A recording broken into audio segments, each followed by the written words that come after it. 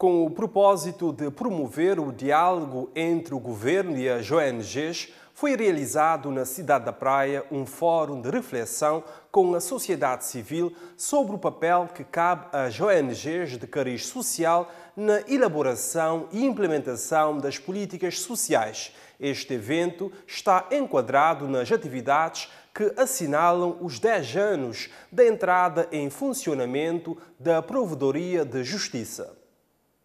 Este fórum, conforme o provedor da Justiça, foi realizado no sentido de dar respostas às várias reivindicações de diferentes ONGs nacionais de cariz social e como podem participar de forma ativa na elaboração e aplicação das políticas sociais. Este encontro fazemos precisamente para mostrar, para valorizar uh, o papel das ONGs e também uh, consolidar a nossa relação com ONGs no sentido de sermos essa, eh, essa instituição que pode mediar, apoiar, ajudar, na, na medida do possível, Uh, junto dos poderes públicos na resolução dos, seus, dos vários problemas que passam pelas necessidades financeiras, passam pela necessidade de organização, passam pela necessidade de, de disporem de meios suficientes e humanos para desenvolverem as suas atividades, mais sociais.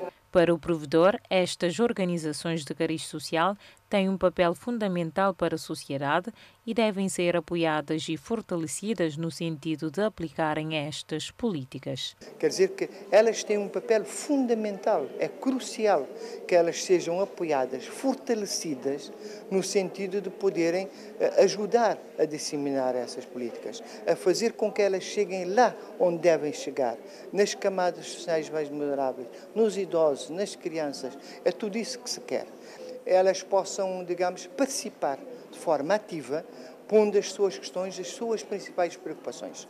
E desta reunião não é uma reunião vazia. O que se quer é que ponham essas questões, que a gente possa fazer as recomendações necessárias às entidades públicas, no sentido de empoderar cada vez mais. A expectativa, apontou o provedor, é que as ONGs possam participar de uma forma direta, colocando as suas questões e as principais preocupações, a fim de fazer as recomendações necessárias às entidades. O Fórum de Reflexão contou com a participação presencial de 40 ONGs da Ilha de Santiago e as outras ilhas teve a participação online.